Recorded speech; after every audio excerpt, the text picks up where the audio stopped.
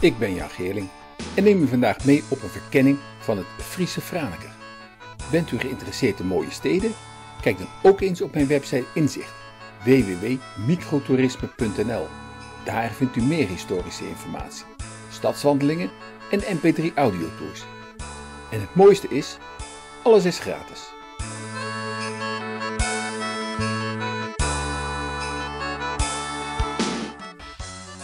Sierlijke renaissance-stadhuis van Franeker is misschien wel het mooiste gebouw van de stad. Het stamt uit ongeveer 1600.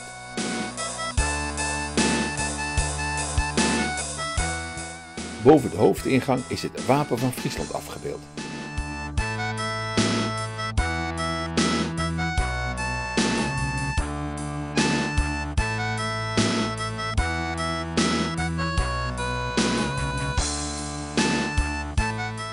Het gebouw is ook Rijksmonument en staat in de top 100 van Nederlandse UNESCO-monumenten.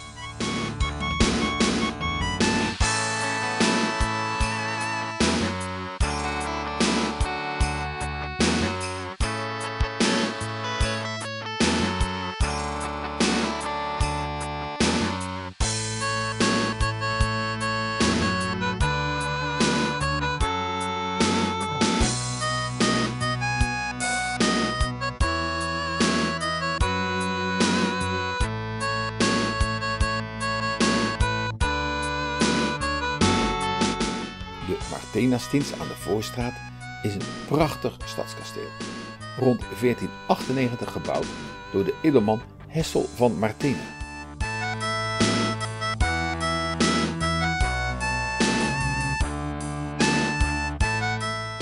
Het is tot 1696 altijd in het bezit geweest van de adellijke familie van Martena.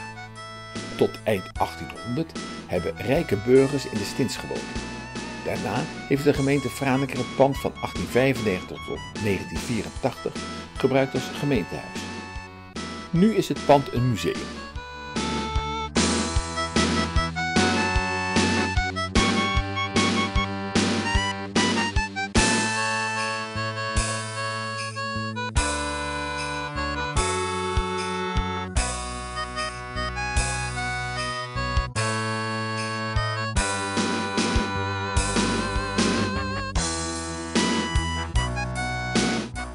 Rond 1694 liet de toenmalige eigenaar grote veranderingen aan en in het gebouw aanbrengen.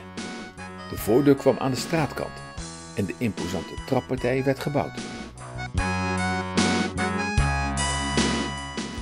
Aan de achterkant bouwde de toenmalige eigenaar een bordestrap die toegang gaf tot een tuin in Franse stijl.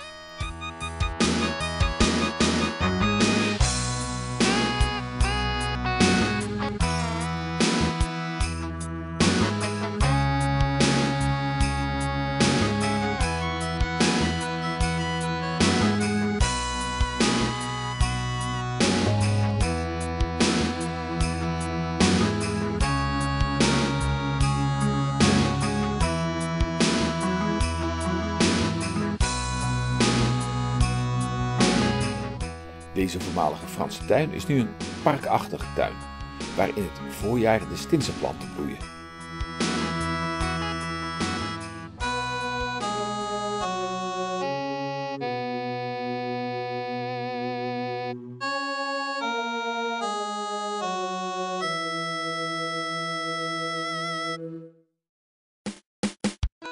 We zijn weer terug in de Voorstraat. Even verderop, bij het Martenahuis, staan gebroedelijk naast elkaar een Patriciushuis, het Rode Valkeniershuis uit 1662 en het Witte Koopmanshuis uit 1746. Daar zit nu de Foonhouse in.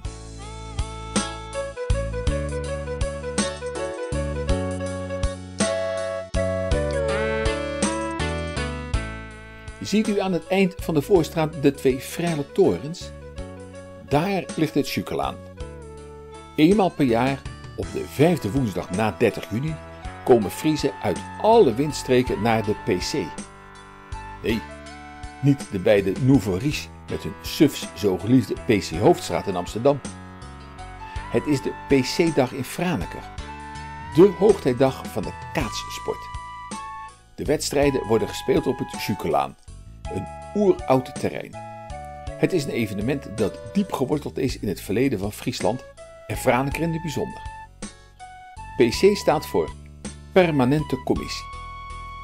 De PC bestaat uit vijf Franeker notabelen die de organisatie van de dag op zich nemen.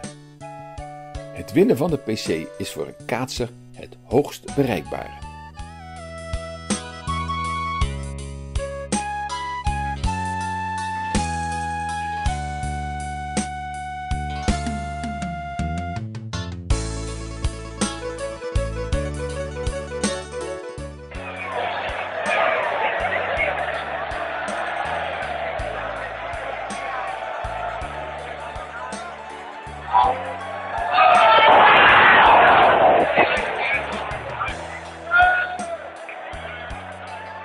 Mira.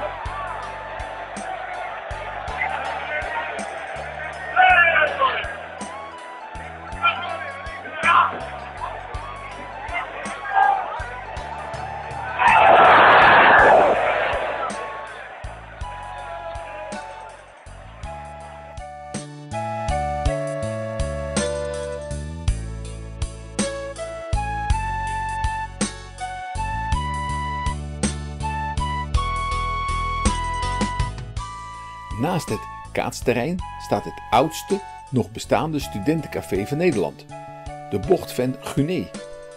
De naam is vernoemd naar de Bocht van Guinee, waar de toenmalige eigenaar van het pand, de zeekapitein Ales, rond 1660 zijn kapitaal had verdiend met de sluikhandel. In 1585 is in Franeker de Universiteit van Friesland geopend. Uit schriftelijke bronnen is bekend dat de studenten drinkpartijen hadden in de herbergen van Franeker. Zij waren als leden van de academie vrijgesteld van de accijnzen die op het bier rusten. Nu is de Bocht van Guinee de vaste sociëteit voor Friese studenten aan de Nederlandse hogescholen en academies.